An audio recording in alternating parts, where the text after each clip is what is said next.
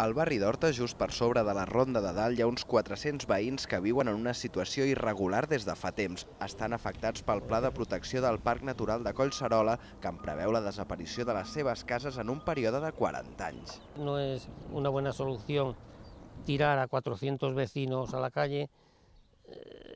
¿Y, y, y qué hacemos con ellos? ¿Los dejamos en la calle?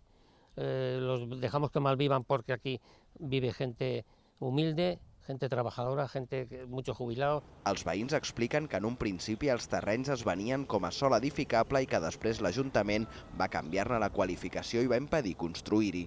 Tenen escriptures que demostren que es podien aixecar habitatges en aquest punt considerat ara com a parc natural.